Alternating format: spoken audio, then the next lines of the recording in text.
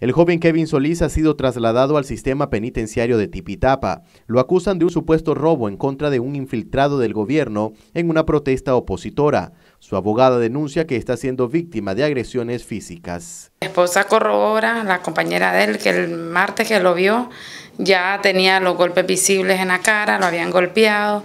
Él estaba en una circunstancia ya alterado psicológicamente, pues ya no era el mismo, y le dijo, le manifestó que este mismo comisionado lo había sacado todas las madrugadas, le ponía el chorro de agua a presión y lo habían estado maltratando físicamente. Ahora, ¿él ya había estado detenido? ¿Fue beneficiado con la ley de amnistía o cómo fue que salió la, mm. primera vez? Eh, pues Kevin es uno de los muchachos que fue sobreviviente de los de la Divina Misericordia, ¿verdad? Por estar atrincherado en UNAM.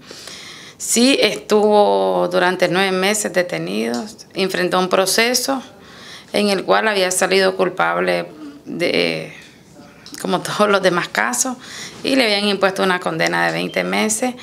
Eh, primeramente salió con un cambio de medidas, con presentaciones periódicas, pero posteriormente le aplicó el juzgado quinto local penal, le aplicó lo que fue la, la amnistía. ¿Hay fecha para la continuación de este? Sí, el 20 de abril. Su tía Azalia Solís asegura que estas acciones contra los jóvenes es una clara criminalización contra las legítimas protestas ciudadanas en el país.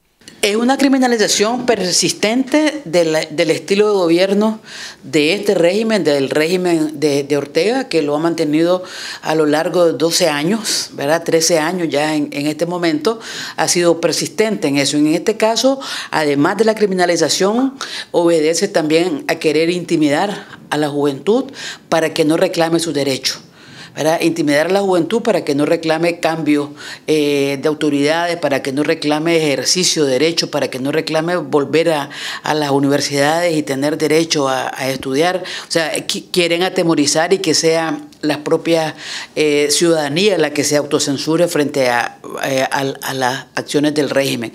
Por supuesto que es un ejercicio ilegítimo este, de las autoridades, entre comillas, de Nicaragua y por supuesto este, es una violación clarísima de derechos humanos.